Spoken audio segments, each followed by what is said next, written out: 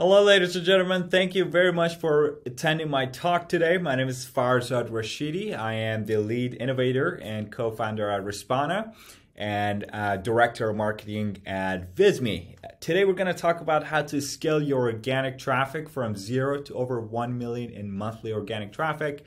There's lots of information to cover, so I'm going to go ahead and jump straight in just to kind of give you guys a quick little background and a little bit of a backstory behind Respona. For some of you who haven't heard of Visme, our parent company, uh, Visme is an all-in-one brand content creation platform. So you'll be able to create any sort of branded presentations, infographics, social graphics, etc. Um, and the way we sort of get all of our customers is through organic search and SEO. We do very little in paid ads and outreach as far as cold sales goes. And just to kind of give you some sense of scale, Visme is now uh, over 10 million active users. We're doubling that year over year. And that's thanks to our about 2 million in monthly organic traffic that comes to our website on a monthly basis. Now, uh, we are that that sort of story led us to the creation of Respona, which was a, a, secret sauce for about a year and a half at Visme. It was a platform we developed internally to help us with streamlining the entire outreach process we had for link building and sort of pouring the gasoline on the fire when it comes to our organic traffic. And, uh, and basically, I shifted away from my role at Visme, now focus on our new product, Respona, which I'm going to tell you a little bit more about. But you guys aren't here to talk about our products. What we want to learn about today is mainly how to go and build the right site structure. That's the first thing I'm going to talk about, uh, which sort of building the foundations for uh, you know building organic traffic. And then afterwards, we're going to be talking about how to create content pieces, how to build landing pages. And last but not least, we're going to talk a little bit about content promotion and techniques you guys can use to build backlinks to your website and grow your organic traffic. So, first things first, let, let's talk a little bit about your site structure. So, think about what's the first thing people do normally when they're looking for a new solution. So, say if you guys are a potential Visme customer and you're looking for a, uh, say, an infographic software, what's the first thing you do? Normally, folks go and look up on Google infographic software, infographic maker, right? And normally you ignore all the ads as a, uh, oh, there goes Visme. ignore all the ads as a user. That's at least what I do. And go straight to the organic search results. And that's how you would normally find a solution like ours. Now, getting to this point is quite difficult because if you guys take a look here, there's about 43 million search results for this target keyword. Now, I would say out of these 43 million, at least you know, one percent or less are um, are going to be decent websites that have you know a good amount of content on a website and they're not spammy sites. So uh, that that leaves us with you know tens of thousands or hundreds of thousands of uh, remaining websites. Now, how would you go from the hundred thousand site to the top ten search result with basically take more than ninety five to ninety nine percent of clicks. And the way we kind of sort of get ourselves up here is by creating what we call topical authority around our website. So we want to make sure that Google knows that our domain, this case visme.co, is an authoritative source when it comes to infographics. And not only just that, but also if you go and look up, for example, presentation software or any other one of our target main keywords, you would see that Visme would normally pop up at the top. So the way we sort of get these landing pages or what we call uh, sales pages up in the rankings is by a quite a simple structure. So step one is the first figuring out what are some of the keywords that you guys are trying to target, right? So if you have a cleaning website and and you you, you know match people with cleaners, then you want to look for like carpet cleaning. That's probably your target keyword, right? So for ourselves, for Visme would be infographic software, uh, presentation software. For Respona, it would be link building software, right? Now once we identify those parent keywords, then we go and create what we call these uh, landing pages for our target keywords, which means that we just create a sales page. It's like, all right, this is our software. It works very well. This is what it does. Go create an account, right? It's pretty much the gist of it. But this bears very little uh, value when it comes to um, uh, creating topical authority for your website. So what we do at Visme is that on, on an ongoing basis, our team actually creates what we uh, or or basically for each and every single one of these parent keywords, we go ahead and create a silo on our blog. Now, a silo is just a fancy word for saying just creating a category on your website and consistently creating content pieces at the very top of the funnel The answer questions about that particular topic. So when it comes to infographics, we create a, uh, for example, a blog post about how to create an infographic layout, or for example, um, um, you know, uh, infographic icons. And the process of figuring out what exactly to write about is a quite a scientific process. I've actually created a little ebook. It's free. You guys can go ahead and download it if you just Google Visme marketing strategy. It should show up show up at the top here. Uh, so uh, this ebook it's called uh, Marketing Strategies. We used to bootstrap Visme under 4 million users. We released that back in 2019, so now it's over 10. I think we're we broke the 11 million actually today. But anyhow, uh, so once once you guys take a look at the ebook, I talk about keyword prioritization. So we all know what our parent keywords are. That's normally that doesn't require a whole lot of research. If you have a business, you know normally know what you do. Now, the second step of that is so I understand what are some of the other questions that people who are looking or potentially would be your customers are searching for on Google actively. And the way we would do that is that is a process of identifying um, our, our opportunity keywords. An opportunity keyword to me uh, means that we want to identify and prioritize keywords that have high potential organic traffic, so high number of clicks, people are actively searching for that keyword, low in keyword difficulty or low competition, so you don't want to go head and head with some of the big brands in the market right straight away. Maybe down the line you could, but we want to prioritize keywords that are easier to rank for, but at the same time have high commercial intent. So that we have defined it as high in CPC or cost per click. So if advertisers are willing to bet for that keyword, it's most likely that those keywords are uh, pretty valuable when it comes to sales. So the, the process of prioritizing those keywords is quite simple. So I made this little quick formula. It's called the opportunity score, and and it's just one over keyword difficulty, which is you know prior, given a higher number to keywords that don't have as uh, high of a difficulty, multiplied by the number of clicks, which is an indication of potential traffic, and multiplied by the cost per click.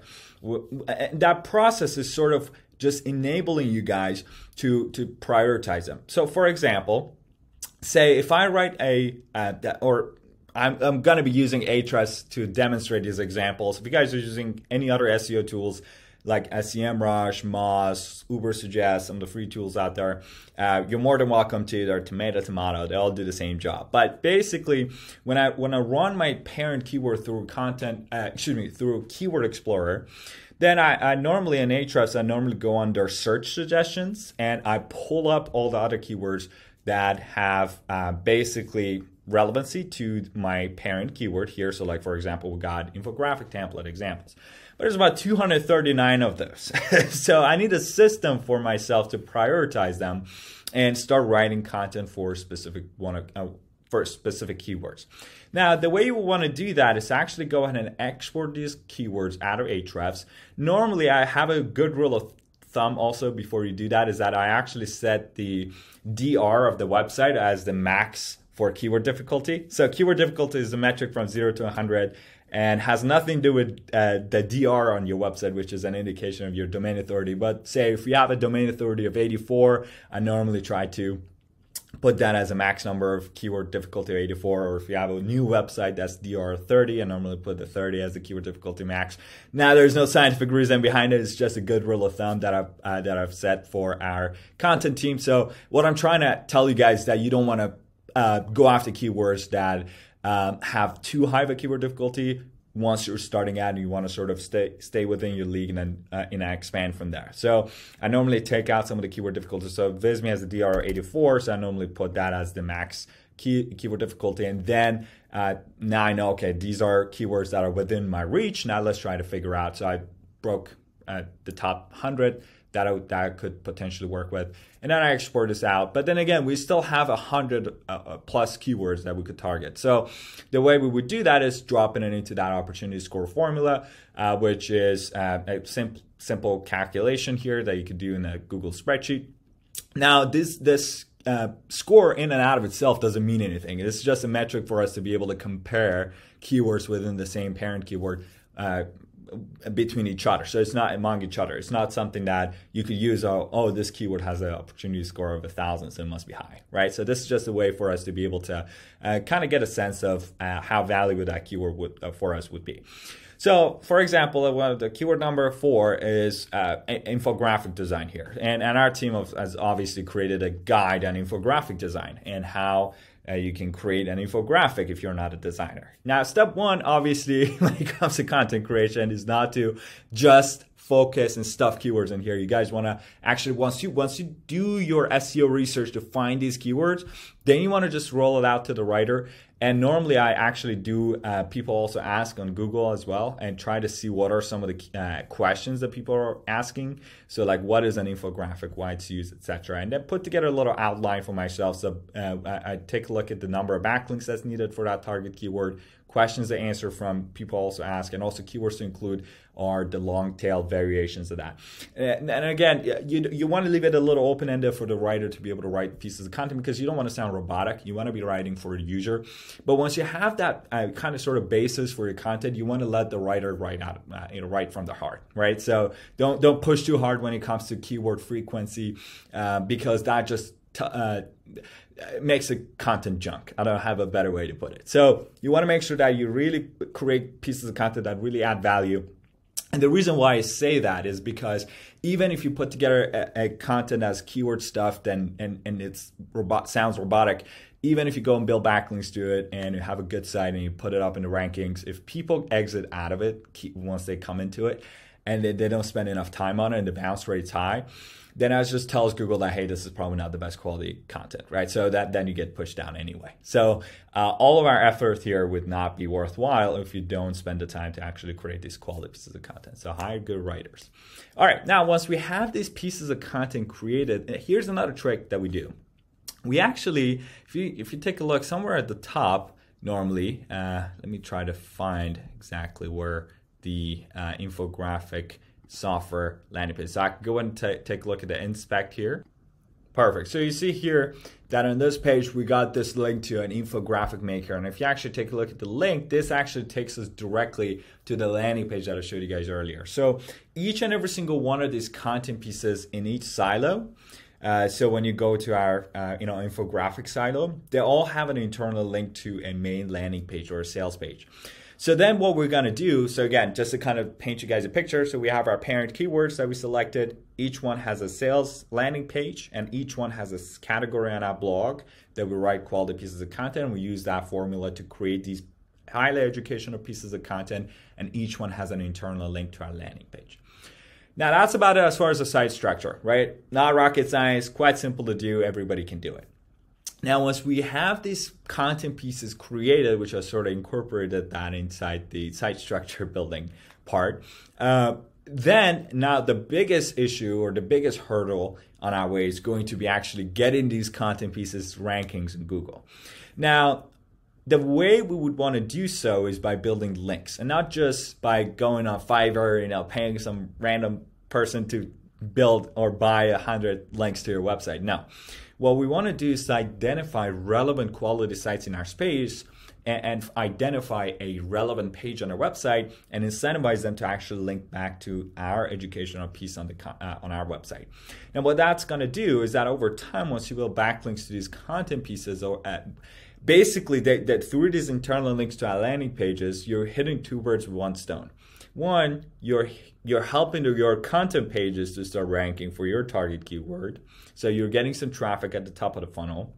And at the same time, those backlinks or external links to these content pages are actually helping uh, through these internal links that pass on the link equity to your landing pages and they're helping your, your landing pages start ranking in Google as well.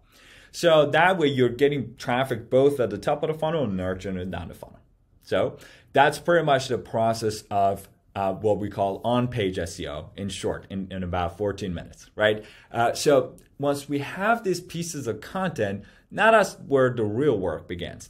And that is actually making sure that we incentivize other people and get them to link back to our website, which is quite difficult, especially when it comes to uh, quality of those sites that you're getting links from. So let me go ahead and walk you guys through how we were able to do that. So that's where Respona comes in. Now, just a little disclaimer, guys, that you don't need Respona to run these outreach campaigns. A lot of people are doing link building, uh, and you know, some some aren't using our platform, and that's totally fine. You guys can just do this manually by yourself. And as we go through the process, I'm gonna actually introduce some of the free tools or some of the external other tools than ours that you could duct tape together to to build a process around. And as I said, if you guys are especially just starting out, you don't need to pay for all these fancy tools.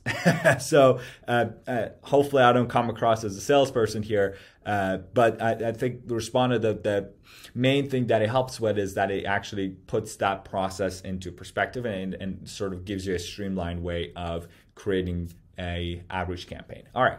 So now that we have piece of, uh, now that we have our piece of content created, so I'm gonna I'm gonna go ahead and actually bring this piece right over here on my browser so I can show you guys on the same screen. Now, ideally, normally there's two different ways that I could run an outreach campaign for this blog post. Again, there's tons and tons of different link building strategies. I like these two um, strategies that work the best and have been the most fruitful over the years. One is what we call the anchor text strategy, which is identifying other relevant blog posts on authoritative websites in our space that are not directly competing with our target keywords. So in this case, infographic design means that if they're talking about the same topic, they're going to be a competing post. They're never going to link to us. So we want to find non-competing blog articles that are relevant enough that I've mentioned our target keyword somewhere in the body. So they've mentioned it, but didn't really dive deep. So let me walk you through how you'll be able to identify that. So in response to what I like to do normally is to go ahead and uh, started a, little what we call a campaign. And here we would like to, let, let me go ahead and just call this infographic design. And a campaign Respona is just basically putting this uh, process of prospecting, finding the right contacts, sending emails uh, under one roof. And as I mentioned at the very beginning, you guys don't have to use uh, response engine for this, you can just go ahead and use the good old Google for this. All right, so what I like to do normally as a first step is set the uh, search as web search, which basically turns this search bar into what similar to a Google search. So we actually are plugged into Bing because it gives us a lot more search results. We're adding Google soon. But what I like to use is, is these advanced operators, which I'm sure you guys have might have heard of them or used them before. And basically, uh, what I could, what I normally use three of these advanced operators. First one is in URL blog. So we want to make sure that we um, narrow down our searches to blog articles. I don't want to reach out to Forbes, for example, or some of the news sites. I want to, or e-commerce websites. I want to make sure that I'm reaching out to blog articles that in their body they happen to mention a target keyword ours in this case designing an infographic right and instead of infographic design, I normally pick designing an infographic because it's something that fits in a sentence better. So I think we can find a lot better opportunities that way. But if we search that, it's just going to bring up other articles about infographic design, right? So which which is not what we want. We don't want competing articles. So then I can tell Respona not intitle uh, infographic or infographics. I normally do singular and plural uh, just because uh, it doesn't distinguish them. So what, what this query means is that, hey, I want to find other blog articles that happen to mention designing an infographic somewhere in the body, but not in their title infographic. So if I take a look, there's a ton of opportunities here. One of them is from uh, one of our good partners, Ryan Robinson, who's actually a um, he is actually one of our affiliates on the Visme side. And he's got this blog post about 10 blog post templates. So the article is about blog post template and it's not a direct competitor to infographic design. But if you actually go ahead and take a look at this and uh, the body of the article, if I look up designing an infographic, there you go. So now here, if you guys see, this is a very short mention So they've mentioned designing an infographic here, but didn't really dive in deep into the topic, and the overall topic of the page is irrelevant to this. So what we want to do is to reach out to Ryan and say, "Hey, Ryan, came across your post about blog post templates and notice that you happen to mention designing an infographic, but didn't really dive into the topic or link to another resource. Our team actually just happened to create a very comprehensive um, resource on infographic design, and I think would make a nice addition to your post." And if you were kind to give us a mention here, I'm more than happy to do X, Y, and Z for you. Now, Google advertises against uh, having to offer any sort of incentive in your pitches, but it's been in our experience that if you don't offer anything, just ask people to do something for you, that normally bears very little fruit. So I do recommend uh, offering some sort of incentive, but normally sites that you want to reach out to and work with are sites that don't accept cash, and we actually automatically blacklist any blacklist any sort of websites that accept cash for links because if they accept cash from you, they're accepting cash from everyone. So at some point they're gonna get cut. That's that link is gonna get null, uh, nullified, and you don't want to deal with it. So what I'm trying to say is that you want to work with websites that don't normally care about your money. Normally, these are uh, other you know ways that you could incentivize them. For example, a social share. If you guys have a large social following, if you have a large newsletter, including your newsletter, drive some traffic to their site. Uh, if you have a SaaS product, offer a free subscription to your SaaS. If you have um, and guest post that you're writing on another piece of content, you can reference one of their articles in that article. Uh, so you offer them some sort of links. So what I'm trying to say, it has to be a mutually beneficial collaboration. Now, another way you could also build links to a particular piece of content. So we could go ahead and select a few of these articles here to add to our campaign or just select them all. And basically, another way we, we normally do this is by importing using, uh, for example, using one of our tools like Ahrefs, Moz, or SEMrush. We actually go through Keyword Explorer and we just look up our target keyword, which in this case is infographic design, and see what are some of the other blog posts that are already ranking for that keyword. So if you take a look at the SERP, um, uh, basically uh, metrics here. So if I can take a look, for example, it's a Venngage article or it's a Canva article, and they're talking about, say, for example, or they, they have like 400 backlinks.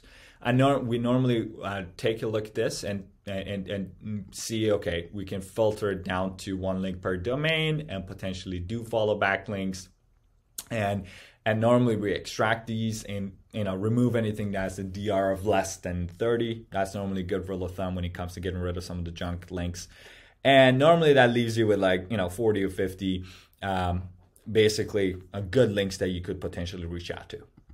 And then normally what you want to do is to go ahead and extract these search results out of Ahrefs, and that gives you a list something like this, which is going to be mainly uh, consist of URLs. And then uh, you, you can just import these URLs, drag and drop them into Respona. So you don't actually have to do any sort of digging. You can just drop these URLs in here and the only field that you need to map is just the URL field. You don't really need to do any sort of research. And again, as I said, you don't need to use Respona. You can just manually go through each and every single one of these URLs. Uh, but it's important that you guys do the prospecting, as I mentioned. So now, second step of the campaign is building an email sequence. Now here you want to put together a template saying that, hey, X, Y, and Z came across your um, uh, you know blog post. Notice the guy that you guys mentioned X, Y, and Z. Uh, so the template goes something like, hey, regarding your topic post, and it goes, hi, first name, happy day of the week, and just finished reading your post and the title of the article, and I wanted to share a few thoughts. Firstly, stuck with me that you said, and we add a level of human touch to the email, which I'm going to show you how that will work in the last step of the campaign. Also, I noticed you guys mentioned designing an infographic in the article, but didn't really dive into the topic. A link to another resource. We just released a brand new guide about infographic design, which I think would make a great addition. Want to take a look? I got you. And as a thank you, I'm more than happy to share your article with a half a million newsletter subscribers and bring some extra traffic to your site, which is you can, you know, obviously replace that with your own incentive, whatever that may be. Um, and regardless, I'll be a frequent reader. Just subscribe to your newsletter. Keep up the great work, right? So basically, what we were trying to do here is to uh, offer a personalized pitch and with an incentive to a very relevant site in your space. So that's really what golden pillars outreach are like. Is, is that you don't want to uh, come across as a jerk who's just you know uh, spamming the world and asking them to do something for them without anything in return. Now, the next step of the campaign, this is where things get interesting. So, normally, if you're reaching out to Ryan Robinson's blog, you, you already know they would want to reach out to him directly. But uh, normally, uh, if, if there's another website, say for example, in this case, if I'm if I were to reach out to this article, say Visme wasn't our own company, was another external blog post that I wanted to write we have a process for figuring out who would be the right person to reach out because that's also something that a lot of people miss they normally just either contact support or company generic email which normally goes straight to trash so what you want to do is to first understand who is the writer of this article and in this case chloe West is a, is the writer, but we got to check whether she, uh, she, works at the company or not. So we got to check whether Chloe is actually a current employee at Visme or not. Which in this case she is. She's actually one of our great colleagues and, and, and, content managers. Hey, Chloe, if you're watching this. Uh, so in this case, I would want to directly find Chloe's email address and want to reach out to her directly. She would be the right person. But say if the information about the writer wasn't present on the page, or that person, say Chloe wasn't an employee of Visme, God forbid. Uh, so in that case, what we want to do is to hit up LinkedIn or some other data sources, trying to find who would be the right person at Visme to reach out to. So a content manager or a writer, editor, uh, SEO person, someone relevant in their marketing team, and get their email address using Hunter or some other other uh, you know email finder tools and then you want to make sure that you verify those emails uh, to see whether they're uh, deliverable so you can use tools like NeverBounce or ZeroBounce to verify those emails and then you put them all on a spreadsheet you export and then you can import it into an email outreach tool so that would be the process normally how you would want to do this manually. Now in Respona, we have something called a, a, contact automation where you can tell the platform what to do and it will go in and take care of it for you on autopilot. So really all you got to do is just answer two simple questions and let it do the dirty work for you.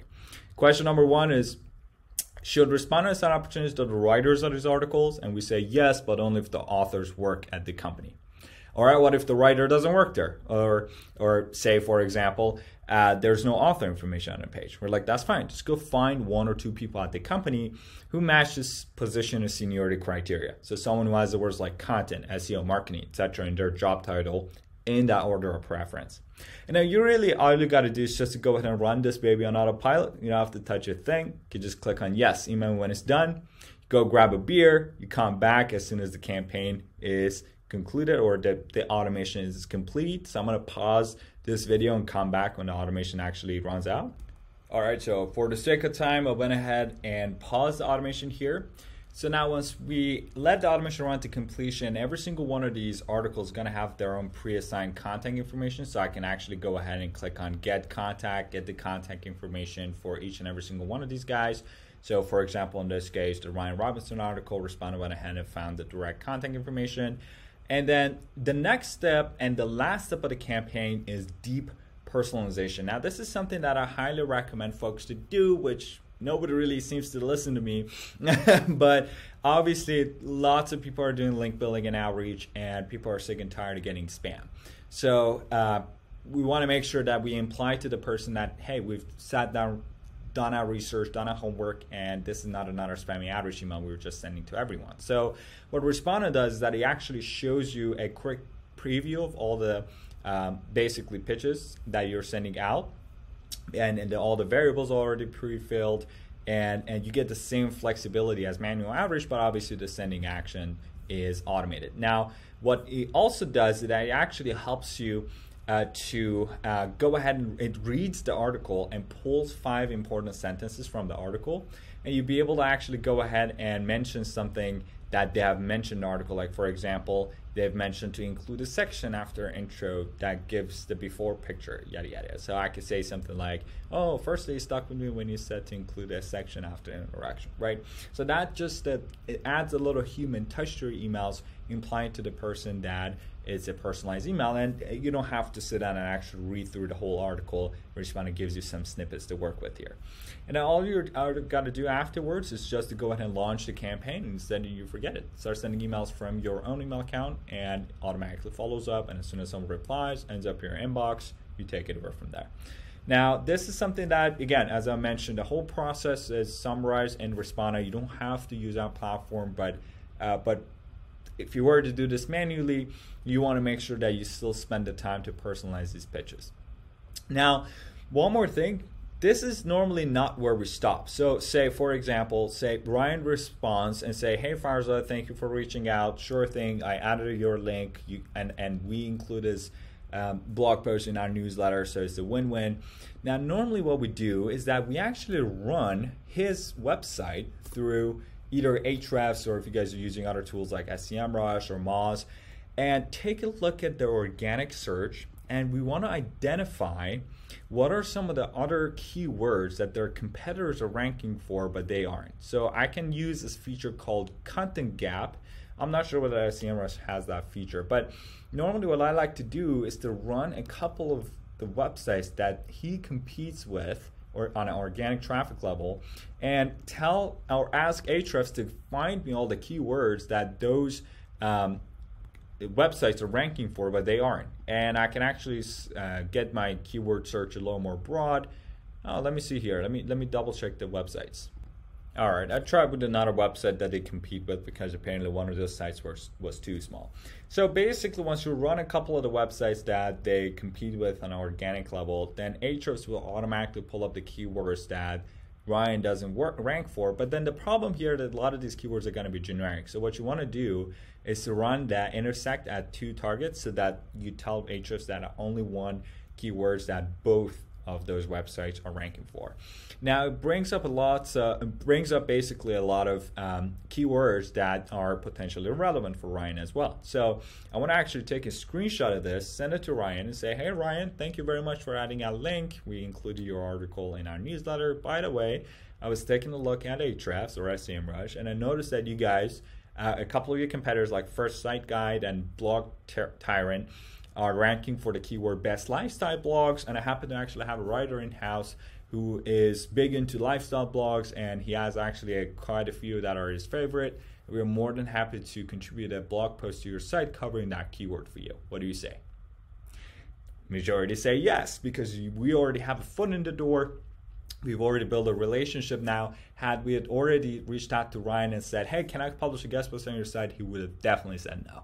But now that we've done a transactional link exchange that's a mutually beneficial collaboration and then slipped in the guest post after, then that helps gives us a much higher chance. Now, once we have a guest post there, now we actually have the opportunity to control the outgoing links from that post. So we do normally include links to directly to our landing pages. So we don't only use the middleman approach, getting links only to blog posts from our guest posts. We actually do include one or uh, two links to our landing pages directly, which obviously are helpful.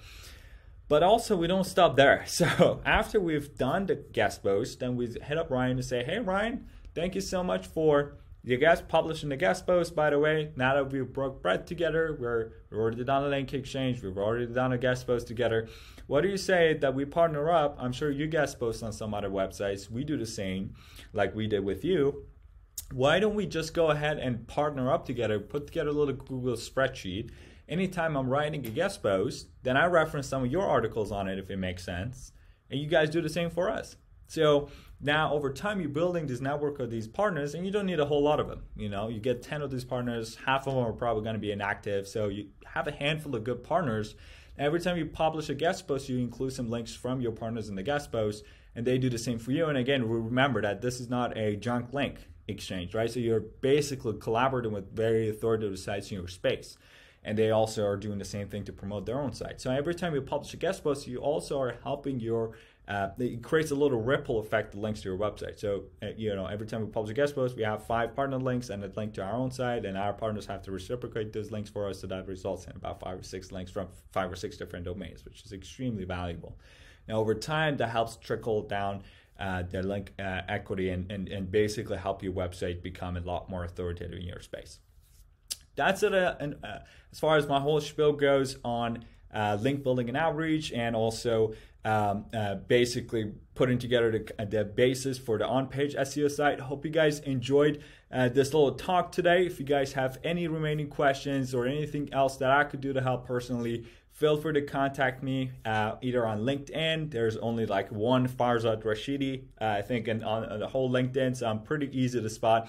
Or you can just go ahead and email me directly at Farzad, F A R Z A D, at respona.com. I'm more than happy to help if you guys have any questions. Uh, other than that, hope you guys enjoy the rest of your day, and uh, hope, hopefully, I'll hear from you.